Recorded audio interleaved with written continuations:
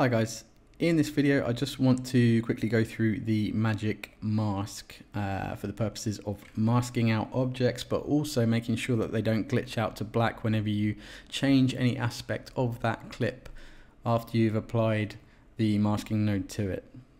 So I'm going to start with this clip which is just a rotating watch and I just want to mask out this case and watch.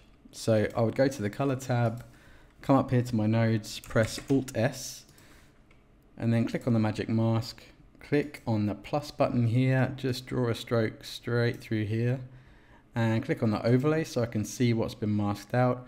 And just for illustrative purposes, that will do. It's done a pretty good job of that already.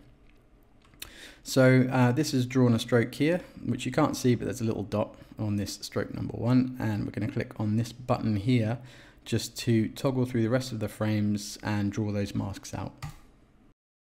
So from here, you can add an alpha output, which I've already done, but you click on add an alpha output here, and you should see a blue dot here. You just connect this last node, which has got your mask on it, to that output node. And if you remove the overlay, you should see it's isolated the subject. You can apply the denoise here to like two or three and it should get rid of the aliasing thing on the edge. So this is good enough for illustrative purposes. Um, also after this, like after this node, you could then choose to apply, I don't know, a um, vignette or you could again play around with the exposure. Although in practice you really shouldn't do that. You should should do that here um, or actually on the first node before your color space transform um, just to make sure you're not editing upon edited footage to make sure you're preserving the quality of your image.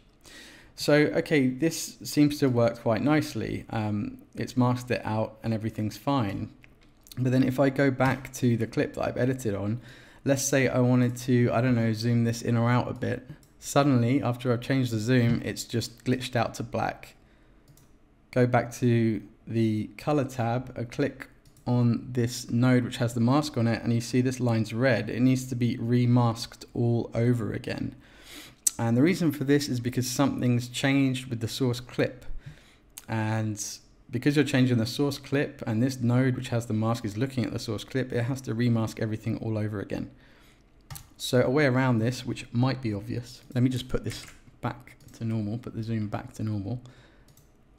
Uh, and let me just go back to the beginning. If you want, if you were here, by the way, and you wanted to go back to the last point that you drew a stroke on, you just click on this button, which is the first frame of that tracked area. And also if there's any strokes towards the end, it will go to the last if you click on that button. I'm going to click on this one, go to the first, and let's uh, redraw that mask all over again.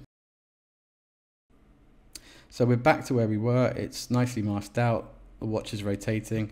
Um, now, this might be quite obvious, this next stage, um, but what I've done in previous projects so that I can manipulate this and it's not going to glitch out on me and go to black is I will create a new timeline. So this will be called timeline 27. And then I'll come back to this tutorial timeline. I will copy this clip, control C, come back to timeline 27, which we just created, click on paste, and indeed it's like it's blacked out again. So you're going to have to go to your color tab and you're going to have to remask this. And don't forget to select the node that's got the mask on it. Right so this has been masked again but within timeline 27 not within the tutorial timeline which I showed you before. This is in the timeline which we copy pasted that clip.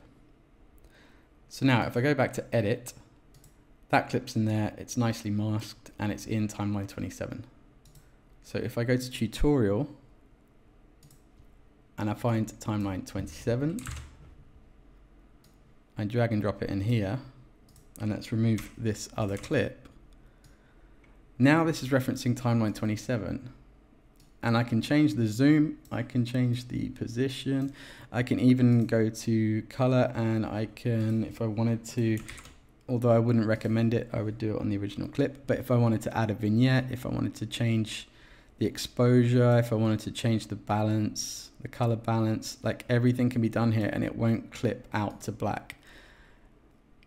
This might be very obvious, but I didn't see any videos detailing this, um, and it's really annoying when you've got a lot of subjects to work with and they keep clipping out like this. I see a lot of videos on YouTube singing the mask's praises, and rightly so, it's fantastic. Um, but for a sustainable workflow, um, this was a great option for me um, when I was fine tuning final compositions, changing sizes and positions, etc. So I hope this video was useful, guys. If you like this video, as always, please click on the thumbs up. If you want to see any more of my content, please don't forget to hit that subscribe button. I plan to release a lot more videos on DaVinci Resolve since I've adopted it, uh, which has been about three months now. It is fantastic, uh, although it's not without its faults, just like the rest of them. Anyway, guys, I hope you enjoyed this one and it was beneficial for you. And until the next time, I will see you in the next video.